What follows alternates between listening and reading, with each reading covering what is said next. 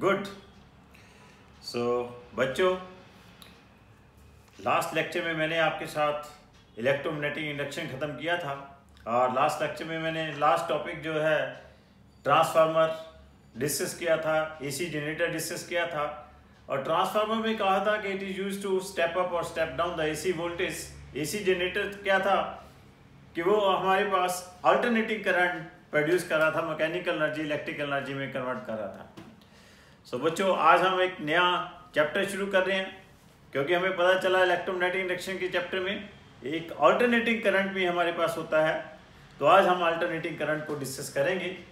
तो what is this alternating current it is very clear from the word कि this is the current which is varying periodically with time जो current periodically time के साथ vary कर रहा है उस करंट को हमने ऑल्टरनेटिंग करंट कॉल किया है Similarly, the voltage which is varying periodically with time that is the alternating voltage. The equation of as it is very clear it is varying periodically with time. So this alternating current it will be a function of sine or cosine. क्योंकि periodically time के साथ vary कर रही है sine और cosine function भी क्या है पीरियोडिक फ़ंक्शन है तो इट इज़ वेरी क्लियर कि आपके पास अल्टरनेटिंग करंट और voltage they will be the function of sine और cosine what is the equation of alternating current equation of alternating current is I is equal to क्या है? I naught sine omega T this is an equation of alternating current what is it I naught I naught is the peak value this is peak value of peak value of AC. I is the current AC at any time t. This is at any time t. What is here? Omega. Omega is here. This is omega is 2 pi upon capital T. What is capital T? Capital T is the time period. Means time taken just to complete one cycle of this alternating current. Clear तो अगर हम इसका graph plot करेंगे तो क्या आएगी आपके पास? वही साइन का आपके पास ऑप्टेन होगी। This is the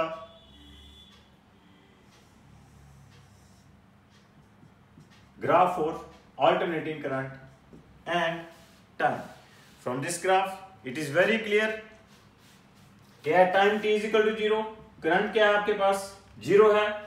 और T is equal to capital T by four के ऊपर इसकी वैल्यू क्या है?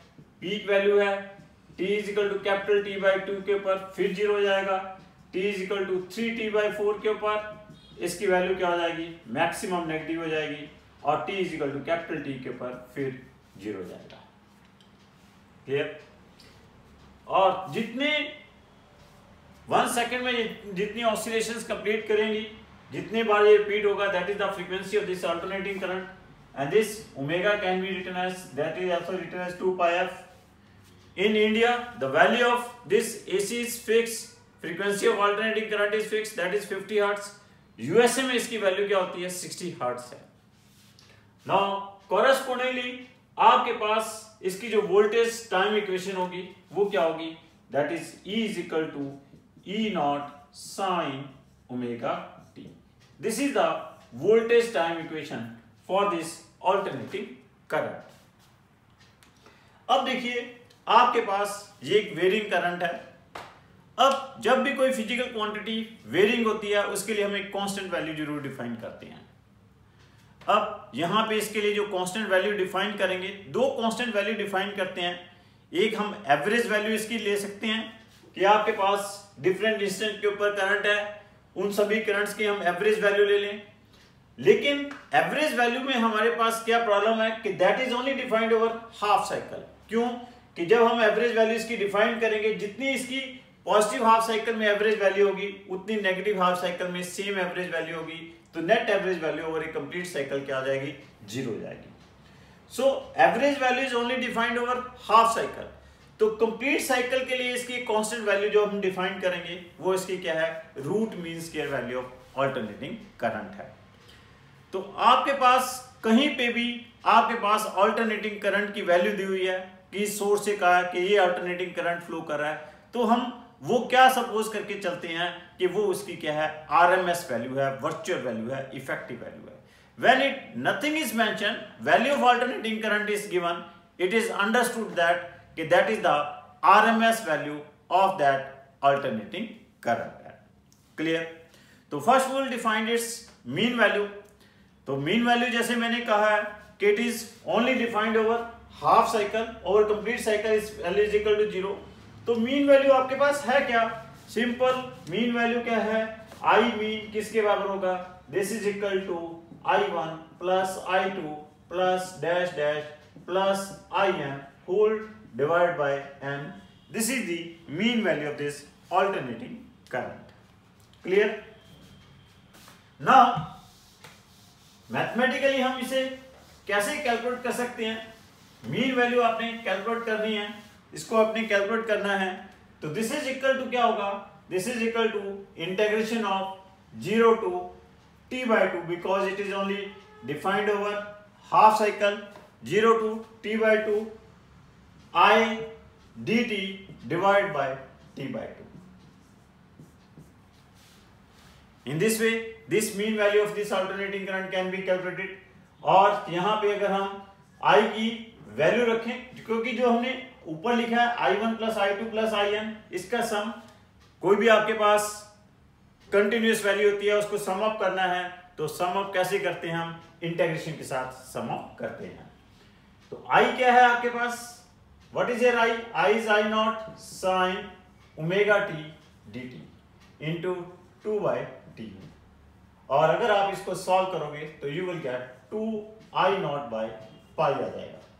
Or this is equal to 0.63 of I naught.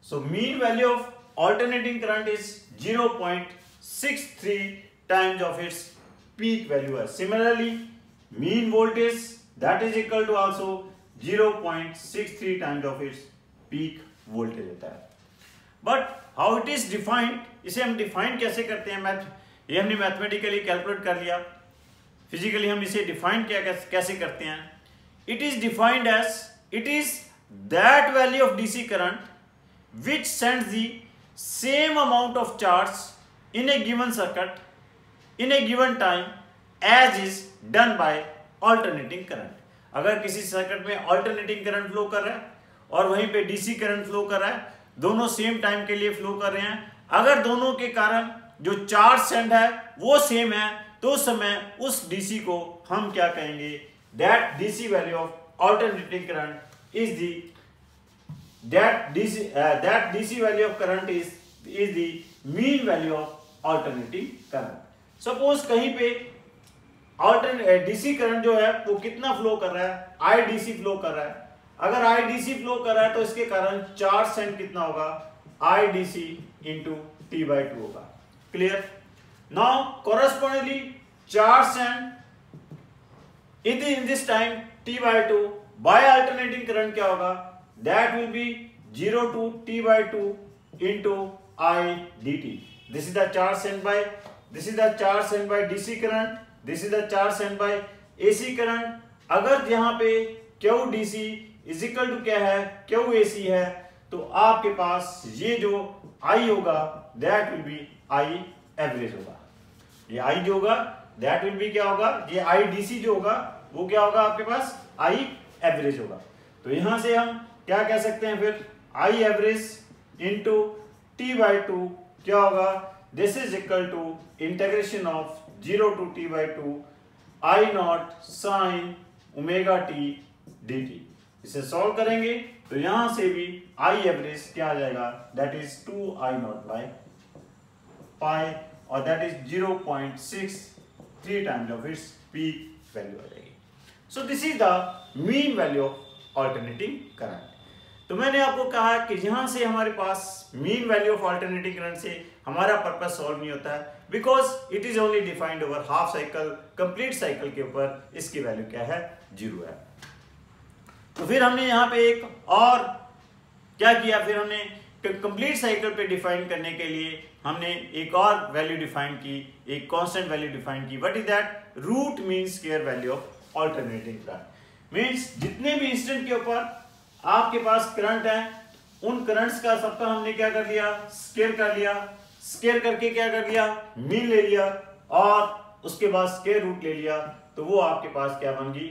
Root mean square value बन गई। Root mean square value of alternating current को mostly IV से नोट करते हैं। This is equal to under root of I one square plus I two square plus dash dash plus I N square whole divide by N this is the root mean square value of alternating current अगर हम इसे mathematically calculate करेंगे, इसको sum up करेंगे this is done with the help of integration zero to T because it is defined over complete cycle this is I square D T divide by capital T divide by capital T whole under root clear तो I की value क्या है आपके पास?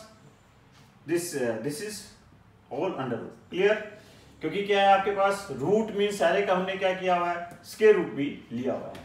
So this is zero to capital T I को क्या लिख सकते हैं? I square sine square omega t d t clear this is equal to one by T I naught square I की वैल्यू क्या है? I naught sine square omega t तो I को लिख लिया ये बन गया I naught square sine square omega t d t अब इसकी इंटीग्रेशन करनी है साइन स्केयर ओमेगा टी की तो आपको क्या करना पड़ेगा? साइन स्केयर ओमेगा टी को you can write one minus one plus cos two omega T divide by two आप लिख सकते हो। तो आप जब इसको साइन स्केयर ओमेगा टी को इंटेग्रेट करोगे और इसको one minus cos two omega t divide by two लिख लोगे इंटेग्रेट करोगे तो आपके पास सारा ये जो इंटेग्रेट करके क्या आ जाएगा? दिस बिकम्स इसकी वैल्यू यहाँ पे जब सब्सिट्यूट करोगे this becomes I naught by root two this is equal to zero point seven zero point seven zero seven times of its peak value आ गई। दिस रिज़ल्ट इंप्लाई दैट कि root में इसके value of alternating current क्या है? It is greater than the mean value है।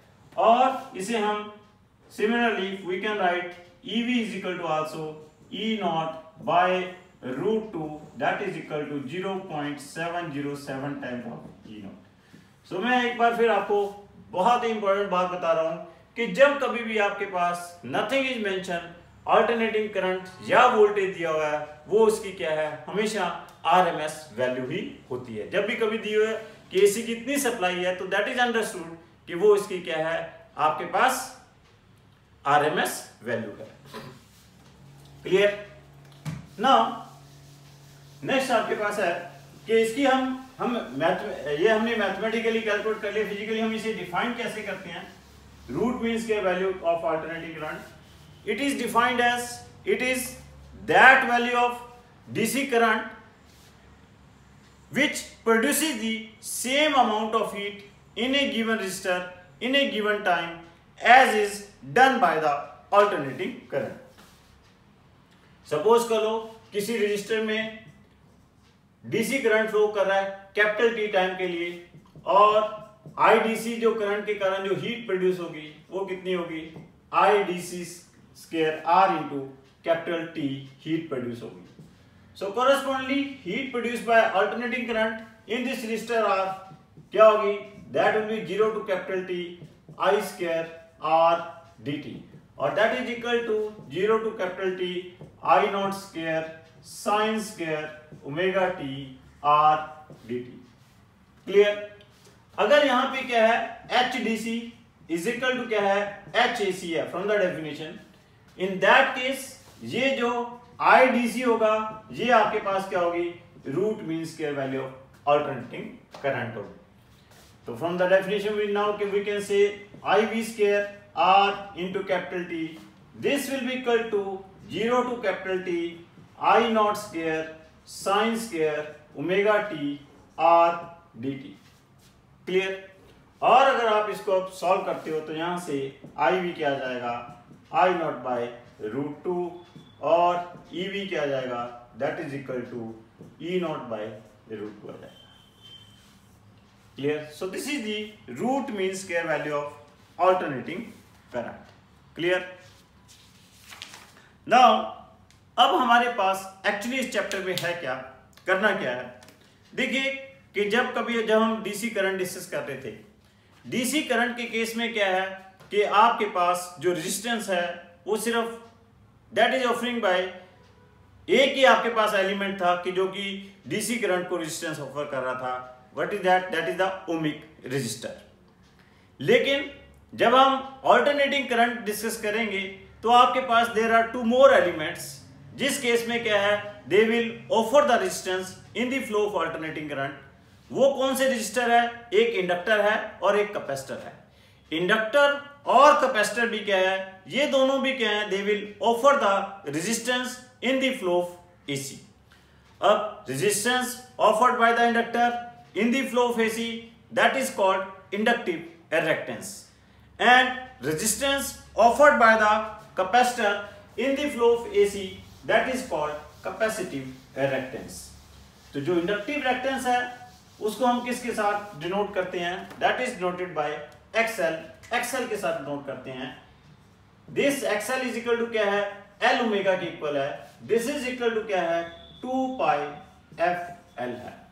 And this result imply that कि ये जो इंडक्टिव रेक्टेंस है resistance offered by the inductor है it is directly proportional to the frequency of alternating current जैसे जैसे ऑल्टरनेटिंग करंट की frequency बढ़ेगी, आपके पास इसकी रेजिस्टेंस क्या करेगी? बढ़ जाएगी। और इसके लिए ग्राफ प्लॉट करोगे you will get incline straight line and from here we can say it is very clear that कि अगर डीसी के लिए एक्सएल की वैल्यू लोगे तो वो क्या आएगी? ज़ीरो आएगी. फॉर डीसी एफ़ क्या होगी? ज़ीरो होगी. एक्सएल क्या होगी? ज़ीरो होगी. It mean that inductors offers no resistance in the flow of DC करने भी क्या है? इंडक्टर कैसे रेजिस्टेंस ऑफ़र करेगा? इंडक्टर की रेजिस्टेंस सिर्फ़ इंड्यूस डीएमएफ के कारण होगी. वो इंड्यूस डीएमएफ किसके कारण होगी? चेंज इन फ्लक्स के कारण होगी. चेंज इन फ्लक्स किसके कारण होगी? चेंज इन मैग्नेटिक फ़ील्ड के कारण होगी. चेंज इन मैग्नेटिक फ़ील्ड किसके कारण होगी? चेंज इन करंट के कारण होगी। अगर वो करंट कांस्टेंट है तो आपके पास कोई चेंज इन मैग्नेटिक फ़ील्ड नहीं होगी चेंज इन फ्लक्स नहीं होगी change in induced EMF startup नहीं होगी तो इट मीन दैट कोई रेजिस्टेंस नहीं होगी। So we are saying so here we are saying कि inductor offers no resistance in the flow DC what is capacitive reactance? Capacitive reactance, it is noted by resistance offered by the capacitor. In the flow of AC that is called capacitive reactance so, that is x is equal to क्या है? One by C omega है. And that is equal to क्या है? One upon two pi F C है and here this implies that capacitive reactance is inversely proportional to the frequency of alternating current अगर हम XC और F के बीच में ग्राफ प्लॉट करेंगे तो आपके पास ग्राफ की शेप क्या आएगी? रेक्टेंगुलर हाइपरबोला आएगी। हियर दिस इंप्लाइज दैट कि आपके पास फॉर डीसी डीसी के लिए एक्सी की वैल्यू क्या हो जाएगी? इनफाइनाइट हो जाएगी। रीजन बिंग कि फॉर डीसी एफ़ ज़ीरो हो जाएगा एक्सी क्या हो जाएगा? इनफाइनाइट हो जाएगा। Means capacitors offering infinite resistance in the flow of DC clear so these are the two elements resistor के साथ साथ आपके पास यहाँ पे दो और एलिमेंट्स ऐड हो गए एक इंडक्टर ऐड हो गया और एक कैपेसिटर ऐड हो गया, which are offering resistance in the flow of AC. अब इस चैप्टर में एक और, इसके साथ दो नए एलिमेंट्स आने के साथ आपके पास एक नई और यहाँ पे प्रॉब्लम आ जाती है। जैसे क्या था कि किसी रजिस्टर में अगर कहीं पे डीसी फ्लो कर रही है, अगर करंट ज़ीरो है तो उस समय उस समय वोल्टेज भी ज़ीरो है, अगर करंट मैक्सिमम है तो वोल्टेज भी क्या है? मैक्सिमम है। लेकिन अब जब कभी भी आपके पास रजिस्टर में इंडक्टर में कैपेसिटर में या रजिस्टर और इंडक्टर के कॉम्बिनेशन में रजिस्टर और कैपेसिटर के कॉम्बिनेशन में या रजिस्टर इंडक्टर और कैपेसिटर के कॉम्बिनेशन में आपके पास अल्टरनेटिंग करंट फ्लो कर रहा है तो उस केस में क्या होता है कि आपके पास करंट और वोल्टेज के बीच में एक फ़ेज़ डिफरेंस डेवलप होता है। तो मीन कि वहाँ पे क्या होता है कि अगर आपके पास करंट ज़ीरो है तो ज़रूरी नहीं है कि वोल्टेज ज़ीरो हो। करंट मैक्सिमम है तो ज़रूरी नहीं है कि आपके पास वोल्टेज भी मैक्सिमम हो। तो मीन्स ऑल्टरनेटिंग करंट में दो एलिमेंट्स इंडक्टर और कैपेसिटर आने से क्या होता है कि आपके पास रेजिस्टर आपके पास वोल्टेज और करंट में एक फ़ेज़ डिफरेंस भी डेवलप हो जाता है। तो इस चैप्टर में हम ये भी देखेंगे कि जब अल्टरनेटिंग करंट फ्लो कर रहा है तो करंट और वोल्टेज के बीच में किस केस में, किस कॉम्बिनेशन में कितना कितना फ़ेज़ डिफरेंस रहता है? फॉर एग्ज़ाम्पल अगर हम सबसे पहले लेते हैं कि alternating current is flowing in a pure resistor pure resistor में आपके पास ऑल्टरनेटिंग करंट फ्लो कर रहा है। ये आपके पास एक प्योर रजिस्टर है। दिस इज़ आर इसमें आपके पास ये एसी फ्लो कर रहा है। ये ऑल्टरनेटिंग करंट है आपके पास। क्लियर ये सिंबल है अल्टरनेटिंग करंट का। इस केस में किसी इंस्टेंट के ऊपर इसमें जो करंट फ्लो कर रहा है वो कितना है? I is equal to I naught sine omega t है। कॉरेस्पोंडिंगली यहाँ पे जो वोल्टेज होगी वो कितनी होगी? E is equal to E naught sine omega जो वोल्टेज आएगी that is equal to E is equal to क्या आ जाएगी? आई आर आ जाएगी। और आई की वैल्यू क्या होगी? ई नॉट आई की वैल्यू क्या है? I naught sine omega t into R है। What is I naught into R that is E naught तो क्या हो गए E naught sine omega t तो ई की वैल्यू क्या है? E naught sine omega t है। तो ये यहाँ पे इक्वेशन नंबर वन और this equation number two implies that किस केस में करंट और वोल्टेज क्या है? They are in the same phase में है। सेम सेम फ़ेज़ का मतलब क्या है? कि जब यहाँ पे करंट ज़ीरो है तो कोरस्पॉन्डिंगली वोल्टेज भी ज़ीरो है। और जहाँ, जब यहाँ पे करंट मैक्सिमम है तो वोल्टेज भी आपके पास क्या है? मैक्सिमम है। तो मींस अगर आप करंट और टाइम का ग्राफ देखोगे ये करंट और टाइम का ग्राफ है। कॉरेस्पॉन्डली यहाँ पे जो वोल्टेज टाइम ग्राफ भी होगा, वो भी क्या होगा? इस तरह से आपके पास साइन ग्राफ आएगा। क्लियर अब यहाँ पे जो फेजर डायग्राम आएगा, इसका फेजर डायग्राम क्या है? कि आपके पास, ये आपके पास अगर ये करंट है तो कोरस्पोंडली आपके पास इसी लाइन के अक्रॉस ही आपके पास ये क्या होगी? वोल्टेज होगी। मींस करंट और वोल्टेज क्या है? आपके पास एक ही लाइन के ऊपर एग्जिस्ट कर रहे हैं। This is called its phasor diagram means there is no phase difference between the current and voltage when it is flowing in a pure resistor इसी तरह अगर हम चेक करते हैं कि अगर ये ऑल्टरनेटिंग करंट आपके पास इंडक्टर में फ्लो कर रहा है।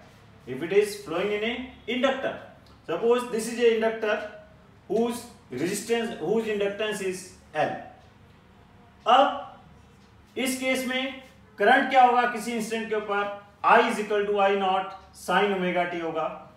और यहाँ पे जो कॉरस्पोंडिंगली जो आपके पास वोल्टेज आएगी वोल्टेज क्या आएगी?